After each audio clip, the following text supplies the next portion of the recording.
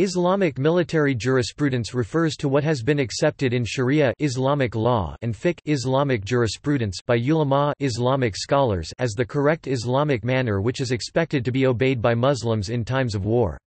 Some scholars and Muslim religious figures claim that armed struggle based on Islamic principles is referred to as the lesser jihad. Development of rulings The first military rulings were formulated during the 1st century after Muhammad established an Islamic state in Medina. These rulings evolved in accordance with the interpretations of the Quran the Islamic holy scriptures and Hadith the recorded traditions, actions behaviors, sayings and consents of Muhammad. The key themes in these rulings were the justness of war harb, and the injunction to jihad. The rulings do not cover feuds and armed conflicts in general. Jihad Arabic for struggle was given a military dimension after the oppressive practices of the Meccan Quraysh against Muslims. It was interpreted as the struggle in God's cause to be conducted by the Muslim community.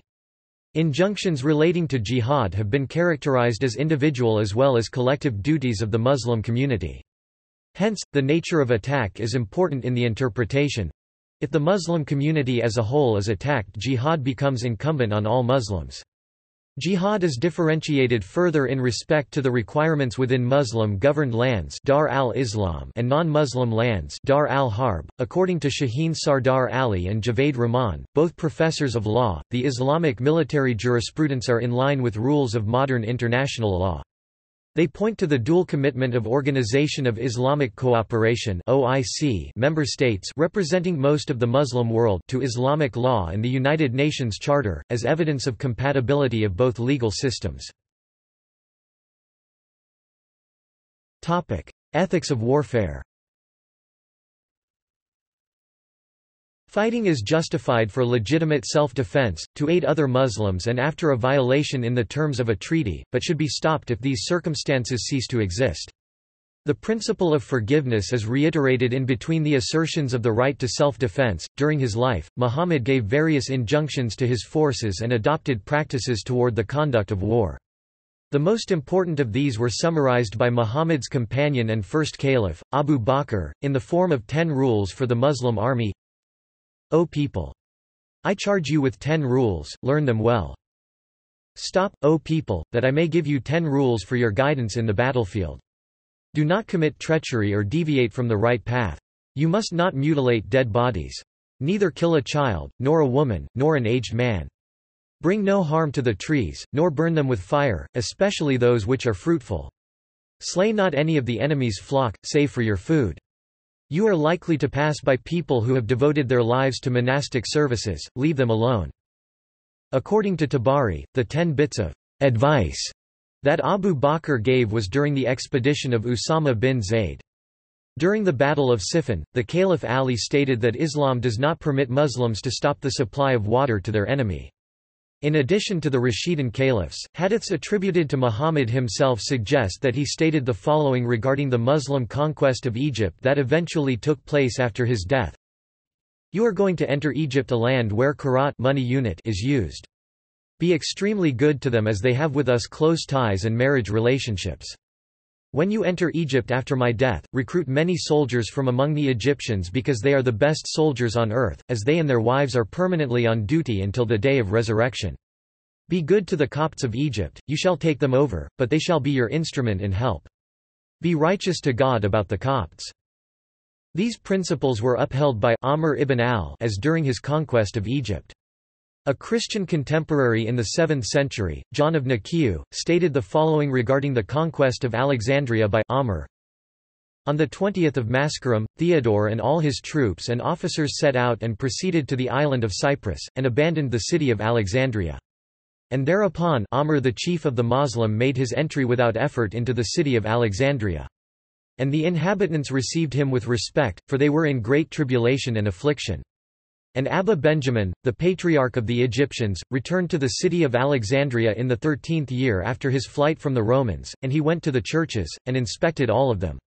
And every one said, This expulsion of the Romans and victory of the Moslem is due to the wickedness of the emperor Heraclius and his persecution of the Orthodox through the patriarch Cyrus. This was the cause of the ruin of the Romans and the subjugation of Egypt by the Moslem. And Amr became stronger every day in every field of his activity. And he exacted the taxes which had been determined upon, but he took none of the property of the churches, and he committed no act of spoliation or plunder, and he preserved them throughout all his days. The principles established by the early caliphs were also honored during the Crusades, as exemplified by sultans such as Saladin and al-Kamil. For example, after al-Kamil defeated the Franks during the Crusades, Oliverus Scholasticus praised the Islamic laws of war, commenting on how al-Kamil supplied the defeated Frankish army with food. Who could doubt that such goodness, friendship and charity come from God? Men whose parents, sons and daughters, brothers and sisters, had died in agony at our hands, whose lands we took, whom we drove naked from their homes, revived us with their own food when we were dying of hunger and showered us with kindness even when we were in their power.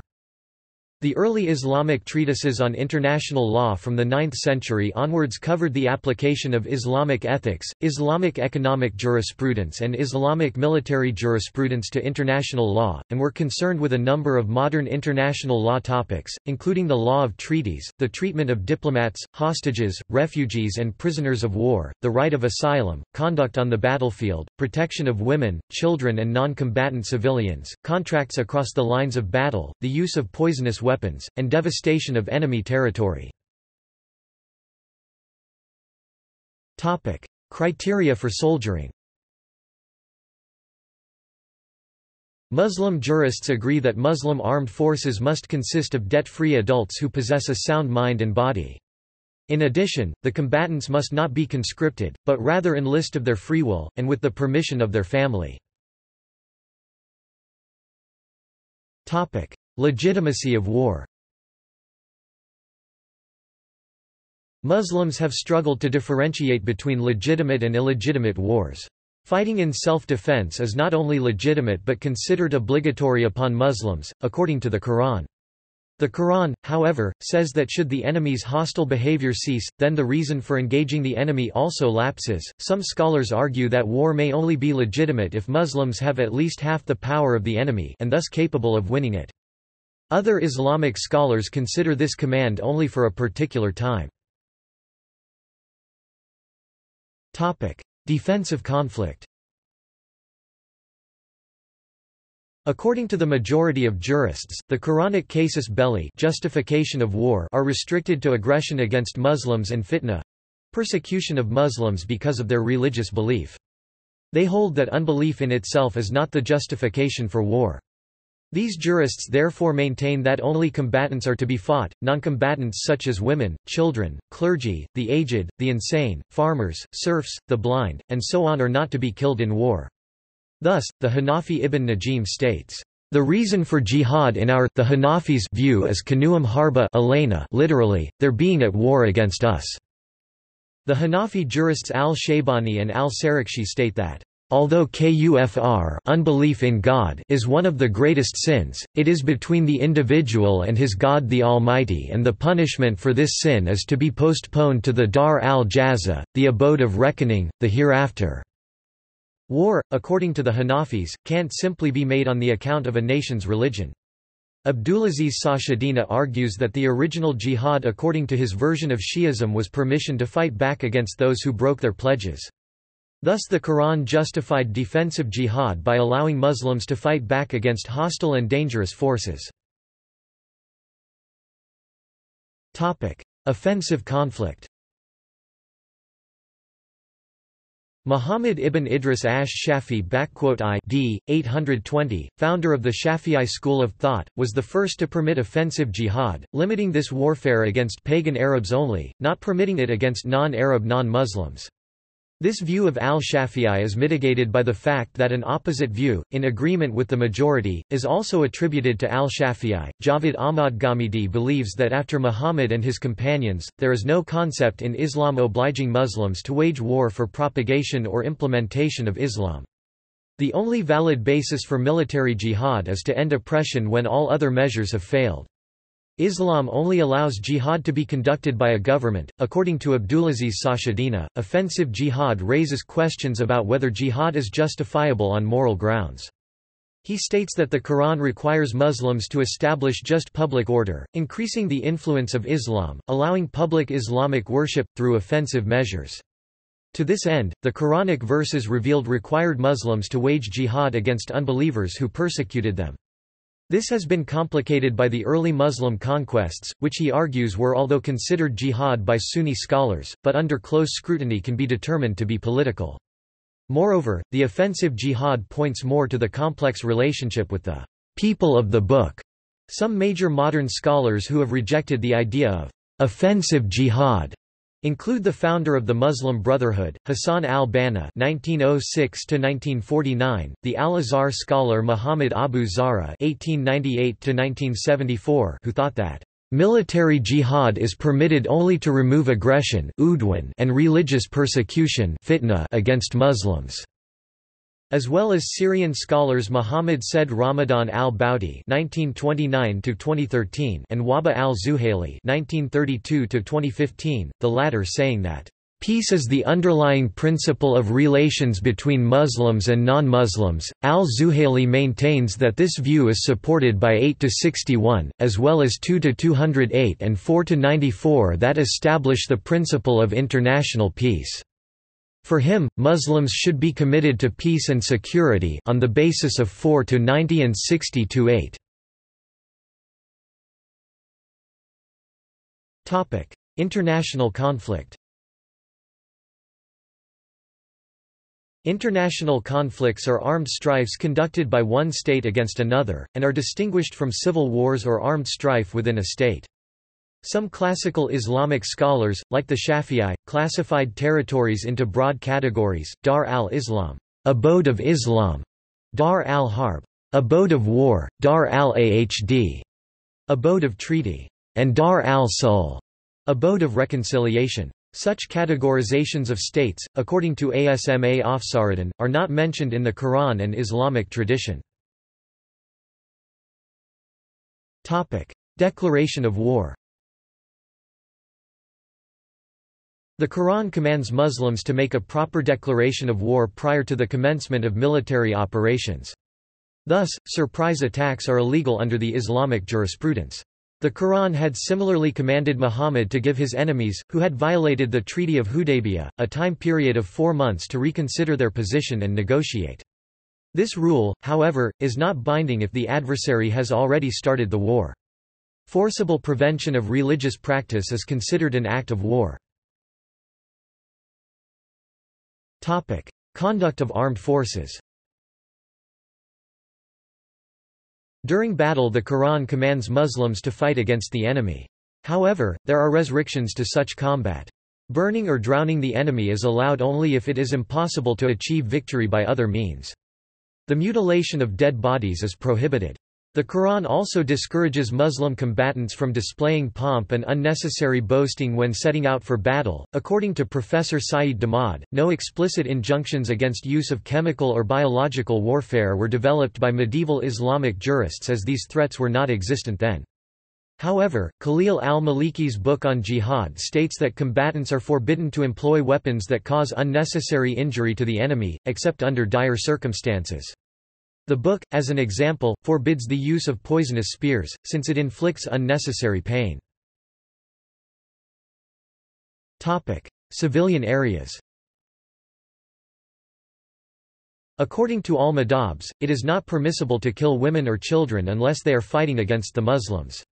The Hanafi, Hanbali, and Maliki schools forbid killing of those who are not able to fight, including monks, farmers, and serfs, as well as mentally and physically disabled. Harming civilian areas and pillaging residential areas is also forbidden, as is the destruction of trees, crops, livestock, and farmlands. The Muslim forces may not loot travelers, as doing so is contrary to the spirit of jihad. Nor do they have the right to use the local facilities of the native people without their consent.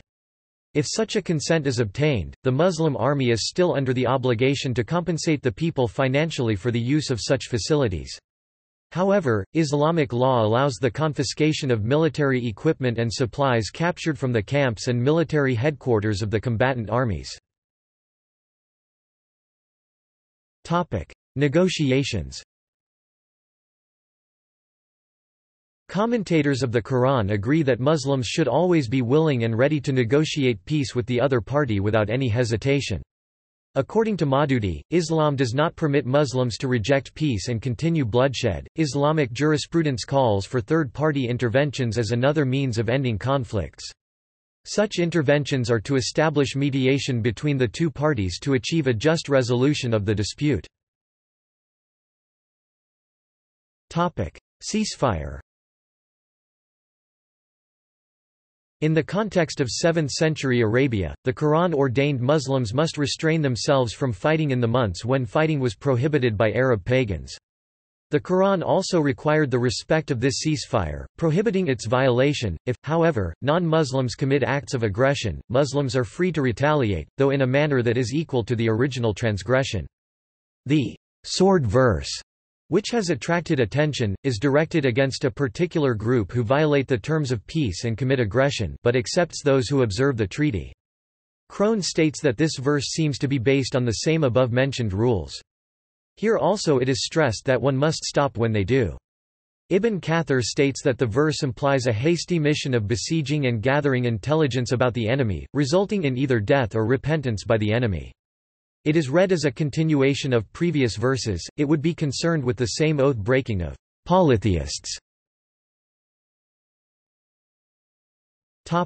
Prisoners of war Men, women, and children may all be taken as prisoners of war under traditional interpretations of Islamic law. Generally, a prisoner of war could be, at the discretion of the military leader, executed, freed, ransomed, exchanged for Muslim prisoners, or kept as slaves.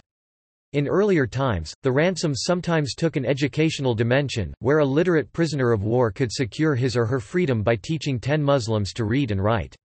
Some Muslim scholars hold that a prisoner may not be ransomed for gold or silver, but may be exchanged for Muslim prisoners. Women and children prisoners of war cannot be killed under any circumstances, regardless of their religious convictions, but they may be freed or ransomed. Women who are neither freed nor ransomed by their people were to be kept in bondage, also referred to as malaka, however dispute exists among scholars on the term's interpretation. Islamic law does not put an exact limit on the number that can be kept in bondage. Internal conflict Internal conflicts include civil wars launched against rebels, and wars for welfare launched against bandits. During their first civil war, Muslims fought at the Battle of Basora. In this engagement, Ali the Caliph, set the precedent for war against other Muslims, which most later Muslims have accepted. According to Ali's rules, wounded or captured enemies should not be killed, those throwing away their arms should not be fought, and those fleeing from the battleground should not be pursued. Only captured weapons and animals horses and camels which have been used in the war are to be considered war booty. No war prisoners, women or children are to be enslaved and the property of the slain enemies are to go to their legal Muslim heirs. Different views regarding armed rebellion have prevailed in the Muslim world at different times. During the first three centuries of Muslim history, jurists held that a political rebel may not be executed nor his, her property confiscated. Classical jurists, however, laid down severe penalties for rebels who use stealth attacks and spread terror. In this category, Muslim jurists included abductions, poisoning of water wells, arson, attacks against wayfarers and travelers, assaults under the cover of night and rape. The punishment for such crimes were severe, including death, regardless of the political convictions and religion of the perpetrator. Further, rebels who committed acts of terrorism were granted no quarter. Topic see also Islam and War Geneva Conventions Hague Conventions Rule of Law in Armed Conflicts Project RULAC Itmam-i Hujat Laws of War Opinion of Islamic Scholars on Jihad Islamic Military Alliance topic Notes topic References Abul Enan, H. Yusuf, Zuhur, Sharifa, Islamic Rulings on Warfare, Strategic Studies Institute, U.S. Army War College, Diane Publishing Co., Darby PA, ISBN 1-4289-1039-5 Abu Abu Nimer, Muhammad 2000-2001. A Framework for Nonviolence and Peacebuilding in Islam. Journal of Law and Religion 15 1 half. Retrieved on 5 August 2007. Ali, Abdullah Yusuf 1991. The Holy Quran. Medina, King Fahd Holy Quran and Printing Complex. Charles, Robert H. 2007 1916. The Chronicle of John, Bishop of Nikiu, translated from Zotenberg's Ethiopic text. Merchantville, N.J., Evolution Publishing. Damad, Saeed Mustafa Mahakik et al., 2003. Islamic Views on Human Rights.